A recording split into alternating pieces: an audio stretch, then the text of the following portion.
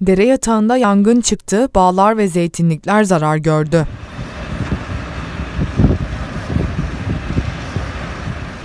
Yangın Manisa'nın Alaşehir ilçesine bağlı Belenkaya Mahallesi, Armutalan Deresi'nde meydana geldi. Edinilen bilgiye göre dere yatağında bulunan kuru otlar cam kırıkları ve sıcak havanın da etkisiyle tutuşmaya başladı. Dere yatağından dumanların yükseldiğini gören vatandaşlar durumu Manisa Büyükşehir Belediyesi İtfaiye Dairesi Başkanlığı ekiplerine haber verdi.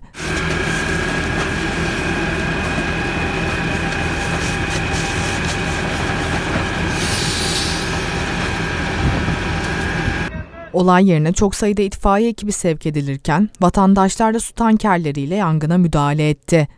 Rüzgarın da etkisiyle kısa sürede büyüyen yangın yerleşim alanlarını da tehdit etti. İtfaiye ekipleriyle vatandaşların büyük çaba harcadığı yangının evlere sıçraması önlenirken dere yatağında bulunan üzüm bağları ve zeytinlikler büyük hasar gördü.